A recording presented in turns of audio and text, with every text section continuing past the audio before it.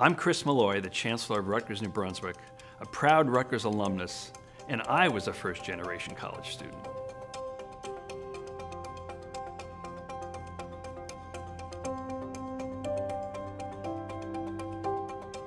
I had the opportunity in my family to be the first one to attend college. I'm the oldest of four boys.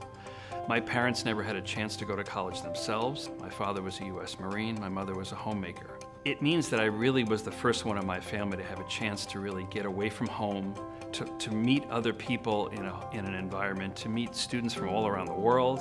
Taking advantage of everything possible at Rutgers is really key. The, the university has so much to offer, it's so large.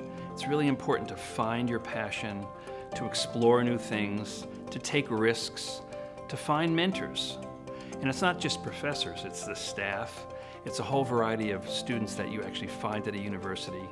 My best friends are still from Rutgers now, almost 45 years ago.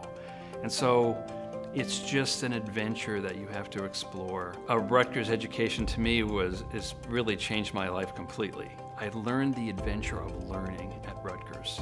It's the vision that one can find by being at a big university that really helps you shape yourself. And it's really some of the people that you meet here that help guide you along paths like this.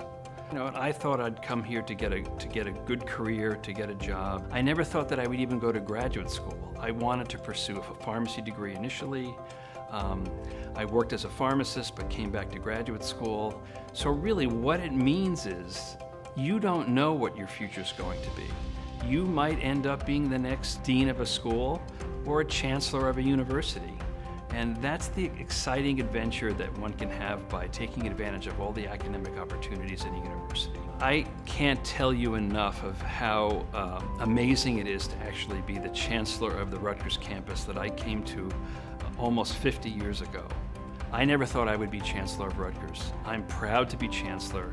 It's exciting to meet all the students that come here every year. Rutgers is a really terrific place.